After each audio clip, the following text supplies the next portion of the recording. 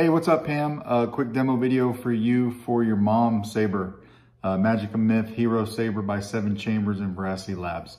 Um, just got this done this afternoon, so I uh, wanted to go over it with you, right? This installed with a Proffie V2.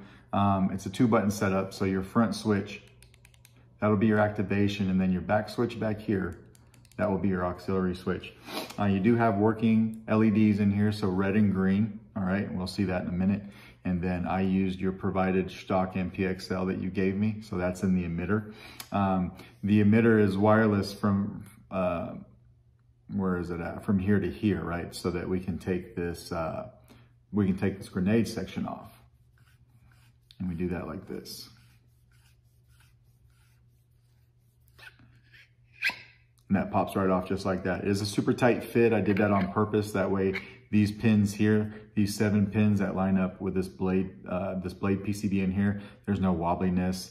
Everything lines up like it should, nice and snug, and then goes in there. Um, I will say you had a little bit of anodizing on your threads, uh, so I'm trying to work that in and out, just screwing it on, screwing it off, taking the anodizing off the threads naturally so it goes on a little bit smoother for you.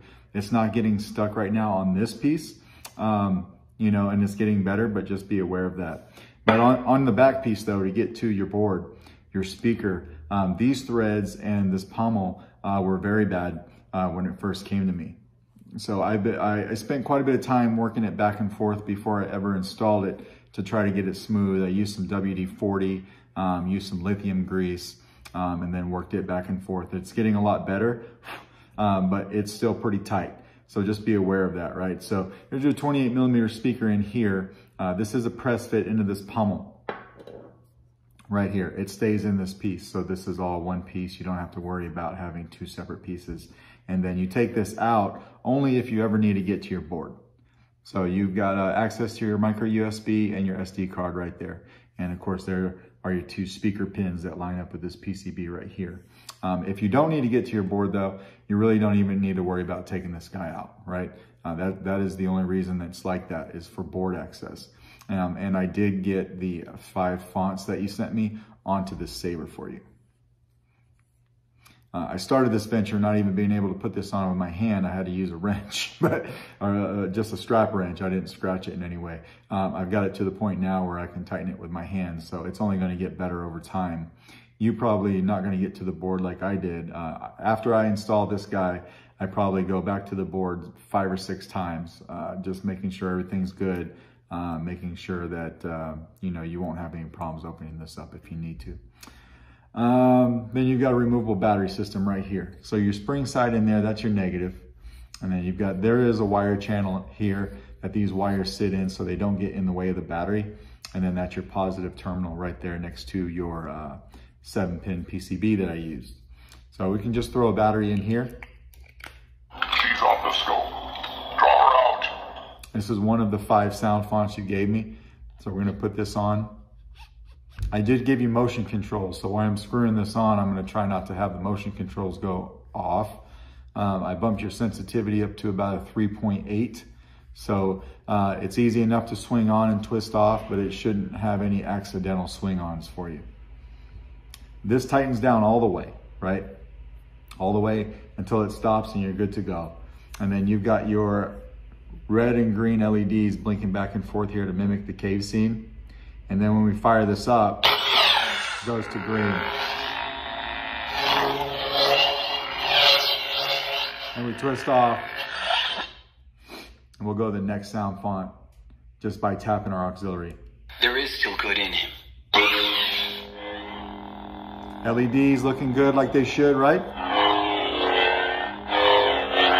Tap auxiliary twist off. And if you didn't want to use motion controls, you could just come over here and tap the activation button.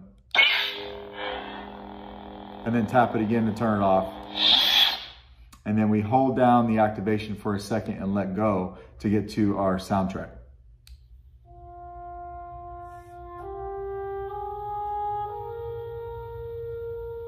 We'll let that play for a second so you can hear it.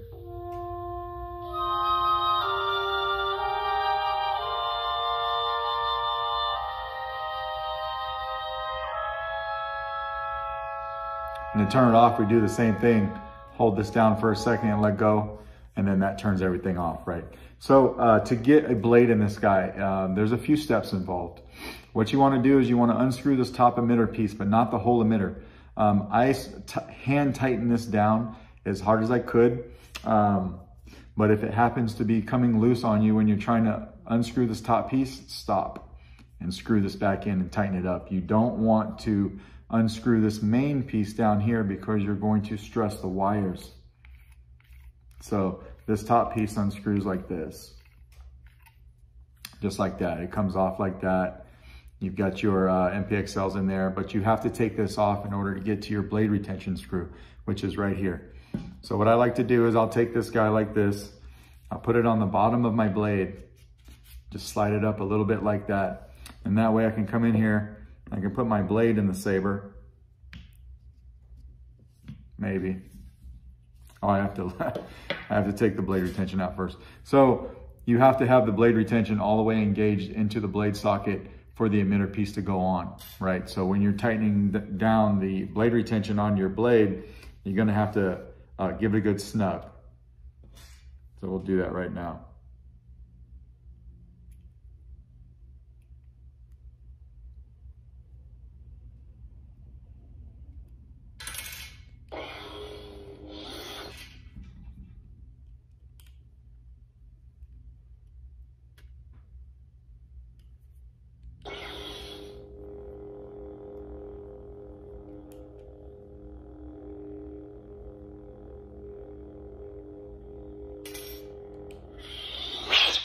Turn that blade on so that I could see. So when this piece is off, right, you don't have very much blade depth. You don't have very much blade depth anyway because this is a thin neck saber. Uh, but this really, uh, this piece right here really assists in holding the blade in. Uh, it's, it's um, you know, once this guy is screwed on, it's good to go. If you feeling like you're screwing it down, but it's not going all the way, don't force it.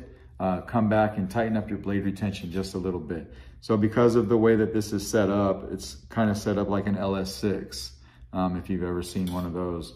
Um, you got to bite down into that blade a little bit so that blade retention is out of the way of the threads.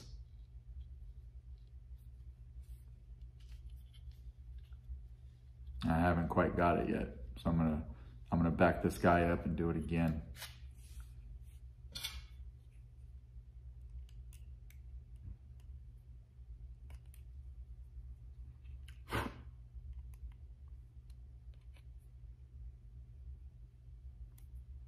All right, there we go. So once we get that, once we get that blade, that blade retention screw right there, once we get that tight enough into our blade, we can take this top piece, drop it on down, and then screw it in. And if you've got that blade retention all the way in, it shouldn't give you much of a hassle.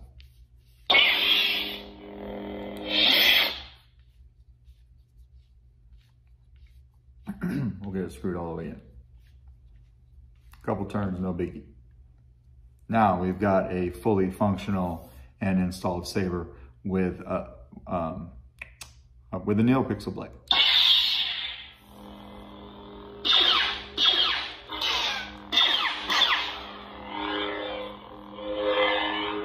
Nice smooth swing. Flash on clash.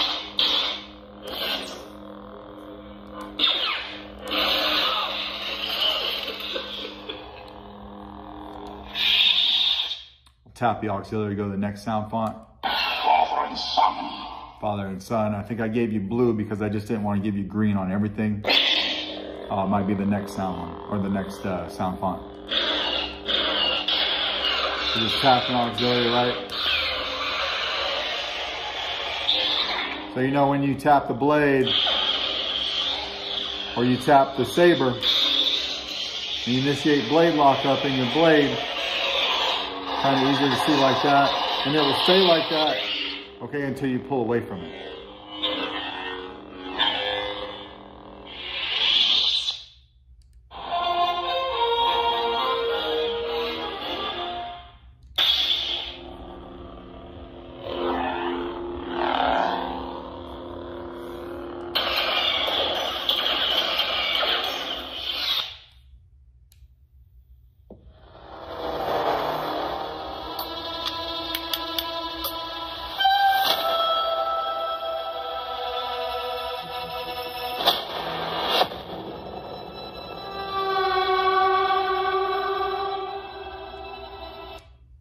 With the what?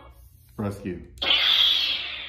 This one had to be green, right? They all pretty much had to be green, but uh, the fallen order one you uh, that you gave me, I made that orange, and then I gave you one other one that's blue, uh, just to try to mix it up a little bit. But if you don't like the color, you can hold the aux and tap the power, and then you can twist the hilt, right? And you'll cycle through the color wheel and find whatever color you want. I'm gonna stop it back on green. But when you find a color you want, you gotta do the same thing. Hold the aux and tap the power. Now we've got a green blade.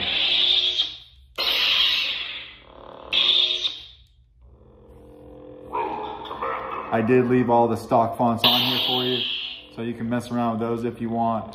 And everything will have the same LED sequence.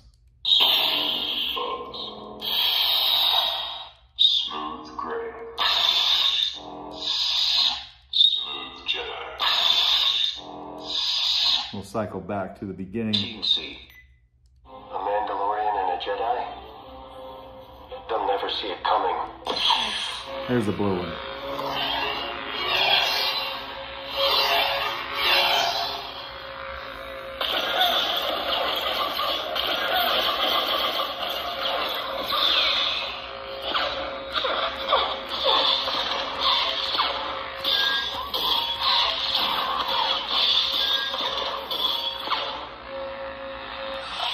Just like that. And now we'll take the blade out. So when taking the blade out, um, you know, we'll do the same thing, but just remember what I said about this main piece. You don't want that coming unscrewed.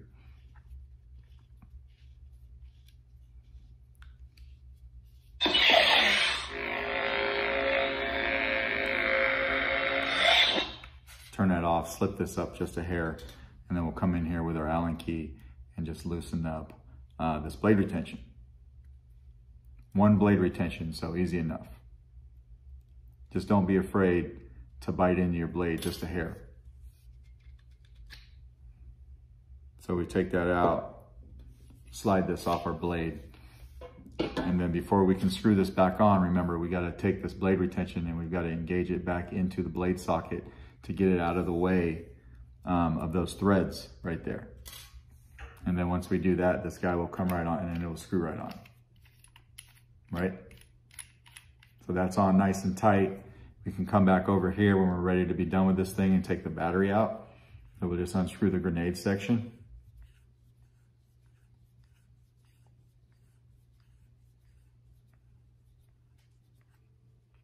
This pops right out. You actually hear the, the suction, maybe. I do it fast enough, like that, right? That's how tight it is in there. Um, and then we'll come up here from the positive side with our finger and you can pop the battery right out just like that. And then uh, put the saber back together. So that is your saber. Um, let me know if you got any questions. If not, I will uh, get this out in the mail to you tomorrow. All right, thank you.